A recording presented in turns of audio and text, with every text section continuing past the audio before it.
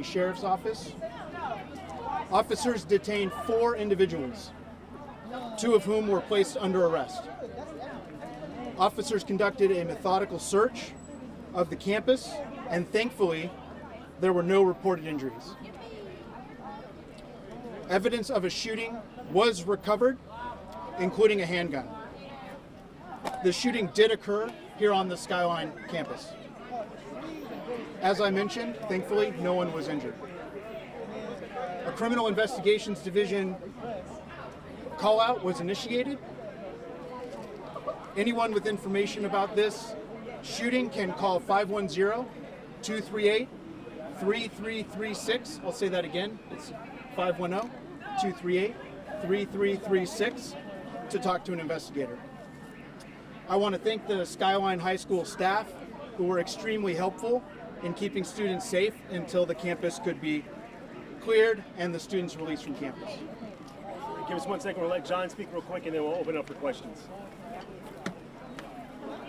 So I'm not saying anything about the investigation, but I will say that uh, I want to Hey, send John, a can you just raise that up for us? Raise, raise it up higher. There you go. Better. I just want to say thank you from Oakland Unified School District and from Skyline High School uh, to Oakland Police, Alameda County Sheriffs, California Highway Patrol for responding so Good afternoon. I'm Karina Nova live in the ABC 7 newsroom, and we are uh, on a live stream right now. And we broke in to give you an update after uh, there was a shooting and uh, lockdown at Skyline High School. Um, we are getting more information right now uh, from police and officials, so let's go ahead and listen in. Making sure that everything was, was kept calm on campus uh, and that we were able to allow the police to get in what they need to do, do what they need to do to uh, secure the campus. So everybody did what they needed to do today, and we thank them for it.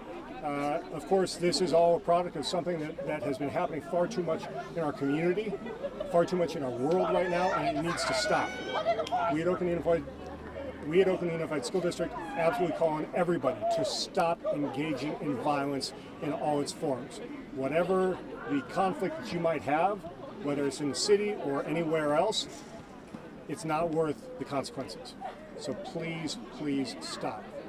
That's all I'm going to say right now. We'll answer questions. All right, guys, again, it's limited information that the captain can speak about right now because it's an ongoing investigation, but we'll open up for a few questions. Captain, uh, you got four in custody and the two arrested. Any of the four But yes, school will be open. We're not going to be releasing any more information about the four individuals who were detained or the two who were arrested. Could you describe where on the campus, like in front of what building and such? And also, uh, it sounds like from the students, it happened while many of them were changing classes. Is that the case? It happened at 11:30. I'm not sure what was going on on campus at that time. The location was was on campus. That's what we're going to verify, but I'm not going to give more details about the exact location. Captain, how would a student get a gun onto the campus? There's only one entrance here, from what I understand, and a booth. Is that easy for students to bring weapons on campus, or what protocols are in place? I think I'll let uh, Mr. Sasaki Sasaki that? answer that question, but I'll, I'll answer any more questions you have for me. Was the weapon found on the people who were detained or somewhere on the campus? We did find a handgun. It was recovered. I'm not going to give more details about how that was recovered. We don't have any information about that at this time. You talked about why there was California Highway Patrol presence was here. They they heard on our radio uh, the shooting come out, information about it, and they responded immediately. And they were extremely helpful in helping clear the school. Were they the first one to see? I don't know that information. Can you confirm it was four shots that were fired? I don't have that information at this point. One last question, guys. Was there a connection with any of these individuals with this school? We don't have that information at this point. I, I know you said no question. Last one, last one, go. Um, it, being that it's the beginning of the year, I'm curious if, if there are drills for lockdowns and if there was any confusion because of that. That'll be more. Thank you, guys. So, with regard to lockdowns, our staff is briefed on how to handle these situations, uh, and today was a good example of how they handled it very, very well. So, uh, we, we are confident that we've got the right protocols in place. However, uh, we're going to be examining what happened today. We're going to be examining all the circumstances surrounding it once we get more information from the police. Uh, on how it happened, et cetera, uh, and our response overall. And we're going to review all that and see where we can tighten things down to make sure that we're doing everything possible to ensure that all these situations are kept absolutely under control. We certainly hope nothing like this happens again, uh, but we know that this world is, is in a state right now that, uh, that this kind of thing is possible wherever you are. And so we want to make sure that, that our, our staff, our students are all well informed about how to behave, how to handle themselves, how to, how to act uh, in a situation where there is stress uh, or something else that's going on. So I hope that answers your question. Can you Yes. talk about how and when parents were notified about this?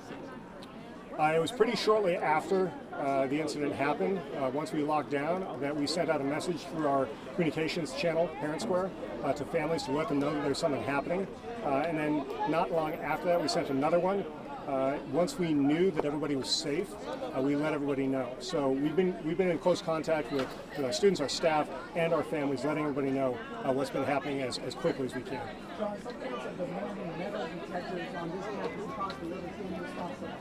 You know, that's that's uh, a question that gets asked a lot in, in Oakland, uh, and that's something that we'll be reviewing along with all the other things we're going to be looking at here.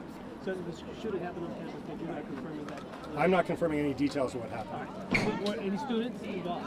I'm not confirming any details of what happened. It, so there's no metal detectors on this campus right now. Uh, currently, there are not metal detectors on this campus. What kind of school resource officers are on I'm sorry? School resource officers. We've never had school resource officers in any of our schools. We used to have our own police department. We don't have any. Right, right. Um, is o- any OPD officers at the school on a Like regular? stationed on the campus, you'd have to ask OPD. then. Uh, No. Last question. All right, are there any, uh, we're done. Thank you. Good afternoon. Once again, you have been getting an update uh, from school officials and police. Uh, this is at Skyline High School, uh, which was put on lockdown after a report of shots fired. What we learned today, eh, just a few moments ago, is that four people uh, were detained, two arrested, uh, no injuries out of the shooting, uh, but we heard from the police officer there saying there was evidence of a shooting and a handgun was found. And we do know now that that shooting happened on campus uh, right around 11:30 this morning. Uh, we also heard that parents uh, they were sent messages to inform them of what was going on, and once they knew uh, the kids were safe, uh, they sent them an update as well. We're going to have much more for you on this. Our reporter, Leslie Brinkley, is on scene. She's been talking to parents, students, and of course, officials. Her uh, report will be on on ABC 7 News at 4, which you can watch here on our live stream, or you can tune in live on air. Uh, we will have updates for you on our website as well, and of course, on the air throughout the evening. Right now, we're going to take you back to regular programming in just about six minutes. Our next newscast is starting, getting answers at 3 p.m., so we'll see you here for that. And thanks for watching.